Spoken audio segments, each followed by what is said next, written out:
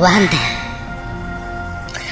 こんばんはパリティです。あのねレコーダーの生姜屋さんってね生姜焼き専門店なんですけどとても変わったねメニューを提供してんのよ。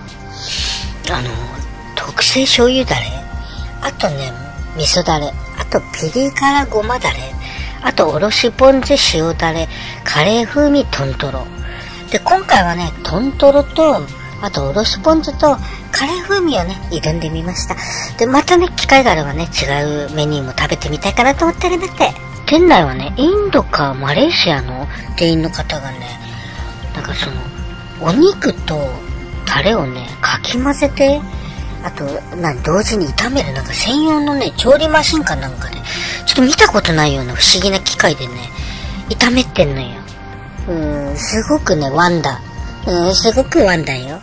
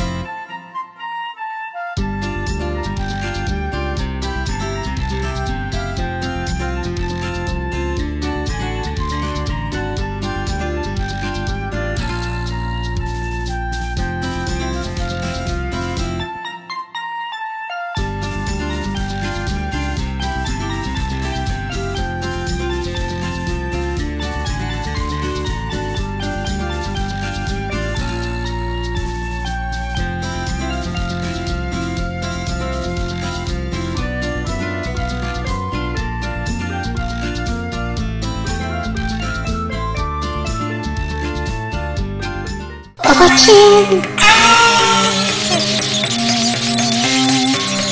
生姜のね量がすごくて上に乗ってる刻んだやつをねいっぱいちゃんとかき混ぜないとブホる。うおって。うんかなりブホりますよ。でね面白いんだけどこのトントロ？なんかねタレがねちょっとなんて言ったらいいんだろう。甘みが少しね通の生姜焼きよりも抑えめなのね。だからね美味しくトントロなんか味わえるようなそんなねなんだろう。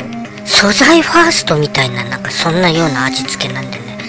美味しくいただけます。いやでもね生姜焼きの味付けにトントロはちょっとこってりすぎてねああ食ったるわ今日っていう方にはねぜひおすすめしたい。言ってくださ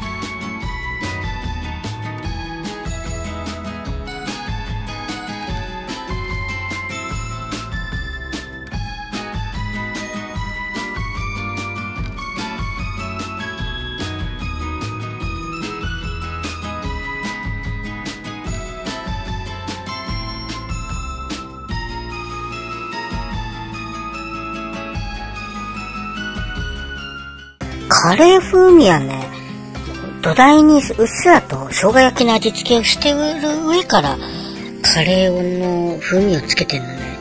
だからね、なんだろう、なんかあの、看板に書いてあったのよ。看板っていうか、あの、店内に貼ってある張り紙に、隠れた不安が多いっていうのよわかる？生姜焼きのちょっと味付けプラス、カレー風味っていけんね。甘みがここちょっとね、抑えめだからね。なんだろう、あの、お肉の味わいを、なんか、カレーでうまく味わってるんだけど、生姜焼きっていう感じ。で、香りも独特。生姜焼きとカレーの味が両方すんのよ。何これ？匂いのテーマパークってことなのかしら。すごく嬉しくなっちゃうんだけど。あとね、おろしポン酢、今回食べた中で一番美味しい。この、生姜焼きのうっすらとちょっと味付けしてある。あ、うっすらって言っても、まあ、普通のよりちょっと下げてるぐらいの味付けなんですけども。合うね。めっちゃさっぱりしてなんか余計お肉の味わいが感じられるっていうかんなんか味付けかなで酸味も結構効いててシースルーみたいなもんよ夏女性の人はシースルー履くじゃない。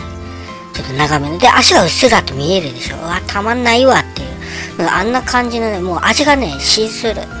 今回トントロとおろしポン酢。あとカレー風味はちょっと食べてみたんですけども。本当にワンダー。うん、味がもう本当にワンダーよ。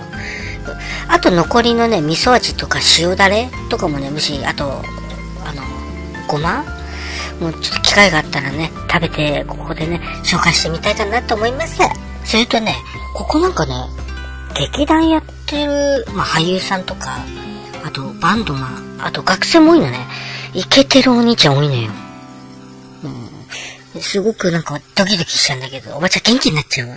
うん、ここの店本当にね、なんかイケてるお客さん結構来んのよ。うん、めちゃくちゃワンダーよ。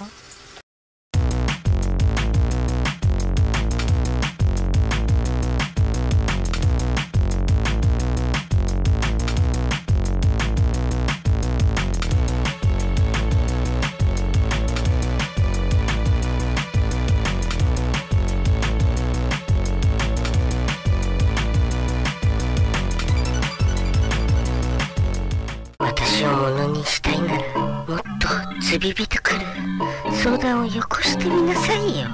男ならそれぐらいできなくてどうするの？そんなんじゃファンコは乾いたままよ。全然乾いたままなんだからね。東京刺激クラブでは皆様のご相談をお待ちしております。ところでよくある相談が来るんだけど数字の4に「ね」という書き込みがあるのね。あれってどういう意味かしら？